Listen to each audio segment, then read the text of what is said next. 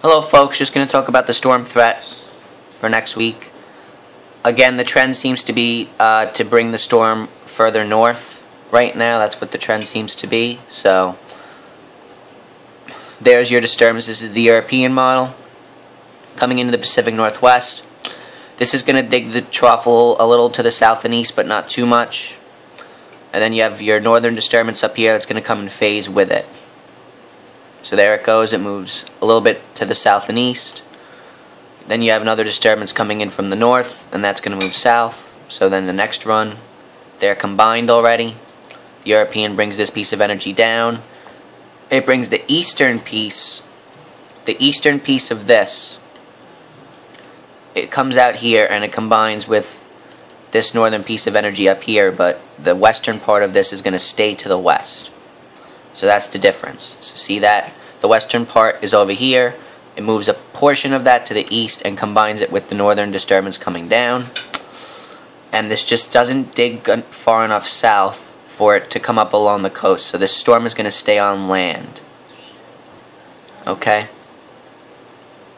So then if you move to the next frame, when those two pieces of energy phase, it's a lot stronger, it strengthens up, and uh, it really amplifies. You're going to be taking Gulf moisture and Atlantic moisture at the same time, so you're going to have a lot of precipitation, a lot of liquid associated with this. and uh, when you have the Arctic air mass moving in probably farther to the north, that's going to create a lot of lift because you're going to have a big temperature contrast, so you're going to have a lot of uh, precipitation going up, up into the atmosphere, condensing, and then forming heavy snow for areas pretty much north of uh, New York City and Long Island, central Pennsylvania, north of I-80. Alright? Um, and again, I just want to point out, look at how much, this is your low pressure here, it's not strong yet, but then these two pieces of energy come closer together, look how much the European amplifies this. So you went from that, sorry, that to that. Look at that, that's really strong. And it's, uh, it kind of goes like that. So it comes pretty much over or just south of Long Island, the, the, the area of low pressure. But that's below 980 millibars. Um, and that's a very strong disturbance here. Look at how strong it is. And then it's just going to kind of swing northeast out of the area. Okay. Oops, that's too far. It's going to swing northeast, so this is what it was over here. Now, the difference between the European and the American, and it's not a big one, excuse me, is these two pieces of energy that the European combines over here. The American model combines them further east. So the American model has it, the storm strengthening more offshore. Now, it's still strengthened strong enough to bring a very heavy snowstorm, but it's um, it's very minute difference. Like it strengthens just a little further east than the European has. Amplifies just a little bit less. So let's take a look at that. There's your disturbance moving in the Pacific Northwest. It's going to move due east, maybe a little bit to the south and east. And like the European, the eastern part of this is going to come east and combine with the northern disturbance. So there it is. It keeps this portion over the southwest like the European does, brings a portion of it to the east.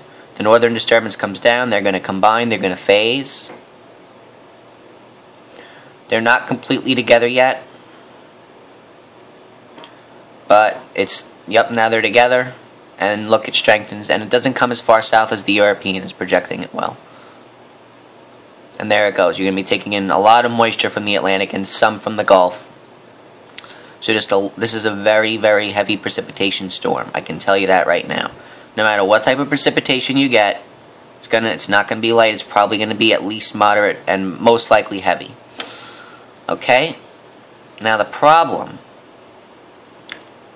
is look at where this high pressure is. It's all the way out to the west. So instead of the high pressure being on top of the storm, it's on the left side of the storm. So that means your Arctic air is going to be moving in behind it. Now areas to the north, central New York, Connecticut, on northward, you're still going to have cold enough temperatures to pretty much be all snow. But south of there, you're going to start out as rain, and you might stay rain for a longer time than you're going to be snow. Alright, and the European shows this too. Like, it has the high pressure on top of the storm for a period, but then moves it west because this storm is really strong. So, it's kind of overtaking the Arctic air mass. So, this is the opposite of what last week's storm was. Okay, so again, that's that. And your jet streams don't phase far enough south. That's another thing. The northern branch of the jet stream comes down, and it phases all the way down. It, phases all the way down here. It doesn't phase far enough south for the trough to dig further south and then come up the coast. That's the thing. The jet stream is not going to be far enough south. Because before that, before you get the Arctic air coming in, see if I can get this. you're going to have a surge of warmth coming up the coast here, coming through this entire area. So you're going to have temperatures in the 40s, and the 50s, and the 60s down here. 40s are probably going to extend all the way up here, so it's going to be nice and warm. So you're going to start out as rain in those areas.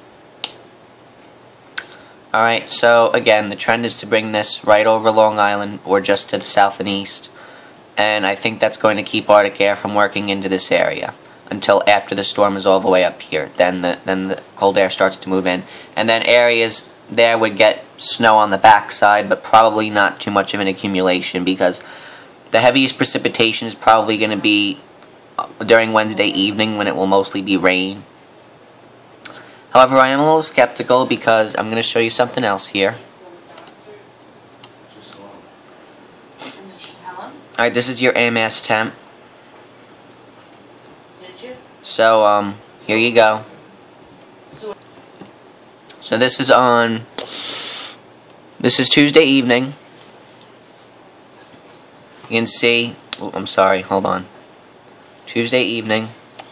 You pretty much have warm air extending all the way up the coast here. The lighter blue is above freezing. So Long Island, New York City you're above freezing right now. And now you go into Wednesday evening, or Wednesday during the day. Let's take a look at Wednesday during the day. You're still above freezing. That's a little colder than before, though. Hmm. Still, this will be around probably in the upper 30s in the light, lighter blue, and then 40s down here. Okay, so that's the trend we're seeing here, but still not cold enough for snow. Areas north of the lighter blue, you're probably going to be all snow or a wintry mix going to all snow. So this entire area here, above central and southern New York, well above southern New York, above central Pennsylvania, you'll be all snow. Most likely. Then you head into Wednesday evening. And again, the low comes up the coast, and look, it's ushering in warm air along the eastern sections here. So you're going to be all rain Wednesday evening. So that's the trend there. You're going to get all rain here. You're going to be all snow to the western side. And then this is Thursday morning, so watch. You go from that to that. Look how quickly the Arctic air rushes in behind the storm. That's really quick. So then you would be all snow here, but the low is probably going to be moving out. So this is why I'm skeptical of accumulations for places south of I-80, like Long Island, New York City, um, central New Jersey, northern New Jersey. I'm very skeptical on what type of accumulation you're going to get, because if this Arctic air rushes in quick enough behind it, you still might get some heavy snow on the backside.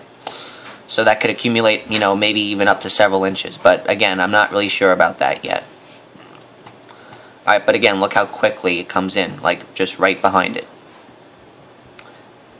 So I think the changeover to snow is probably going to happen before midnight or around midnight. And I think, again, areas south of I-80, you might get a period I don't know, five to six hours of moderate to heavy snow. Again, it would be heavier at first, and uh, that might change. Um, I'm sorry, that might accumulate somewhat. So something to watch. So that's a little bit of uncertainty there. The European brings us a little further south, not too much. So that might give a little more room for Arctic air. But again, it's going to be mainly a rain event for all of Wednesday during the day most of Wednesday evening, and then late Wednesday night changing over to snow south of I-80, Long Island, New York City. North of there, you're snow the entire time, pretty much. So those areas are going to have to watch out for a decent snowstorm. You're going to get a lot of snow. Could get over a foot. I think people might even get some people might even get up to two feet in uh, Maine because this as this intensifies, what's going to happen is this is going to move. It's going to move here, and then as I showed you, as the two um, disturbances come together and it comes along the boundary between warm and cold air, it's going to really start to intensify. It's going to be taking in moisture, so you're going to get higher snow amounts as you go further north and east. So with that in mind, this is the snowfall map I came up with. So, again, you have your 6 to 12 up here. I have a feeling I'm going to need to draw 12 to 18 in here. Probably, I'll draw it with the yellow. Probably in here.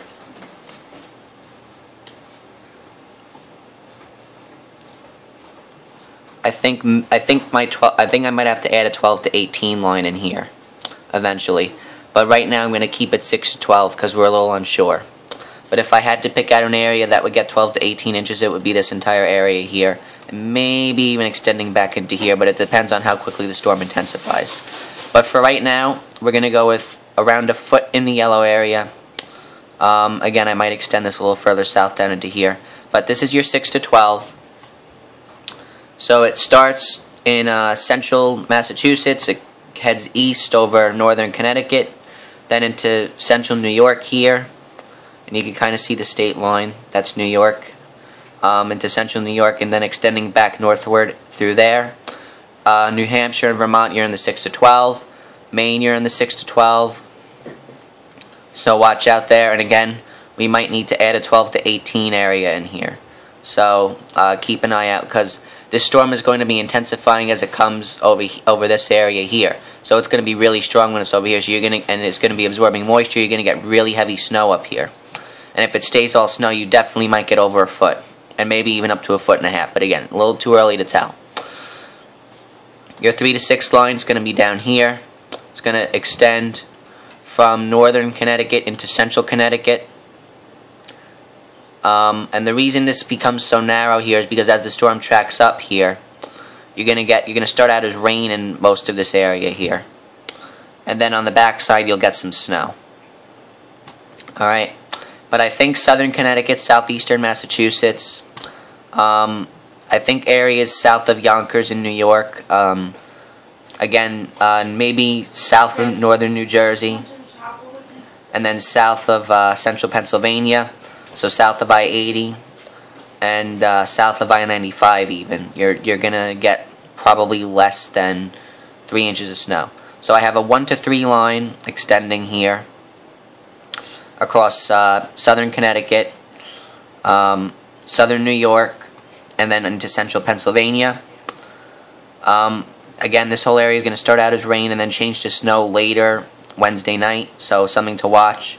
Because if that heavy precipitation really uh, comes in, you could get several inches. But I think you're going to get enough of a period of snow where you get one to three. But again, this actually might even need to be shifted further north if the northward trend continues. Down here, according to an inch, in southern New Jersey, you might not even get that because you might stay all rain.